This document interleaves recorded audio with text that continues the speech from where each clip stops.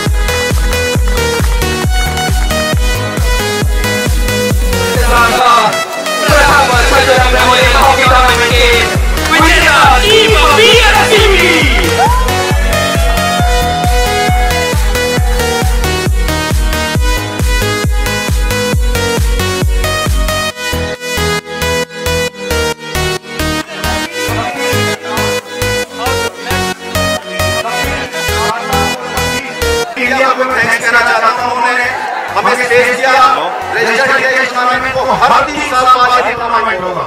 और देश के सबसे बड़े टूर्नामेंट में इसकी गिनती की जाएगी ऐसा टूर्नामेंट और मैं आपको बता दूँ कि जब मैंने दिल्ली में अपने काम की शुरुआत की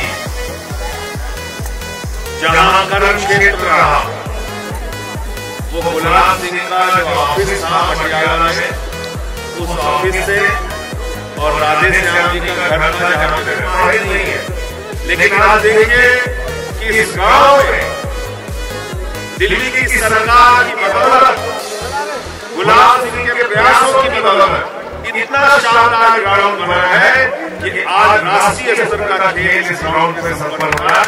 आप सबके लिए बहुत बहुत बधाई। मैं उन तमाम खिलाड़ियों को हृदय की गहराई से बधाई देना चाहता हूँ जो लोग आज जीते हैं, जो दूसरे नंबर पे रह गए उनको भी बधाई। जो तीसरे नंबर पे रह गए उनको भी बधाई। और जो इस टूर्नामेंट में शामिल हुए, और शायद सेमीफाइनल फाइनल तक नहीं पहुँच पाए उन सारे खिलाड़ियों को बहुत बहुत बधाई। और हॉकी का खेल सत्तर पचहत्तर मिनट में सारा कुछ हो जाता है।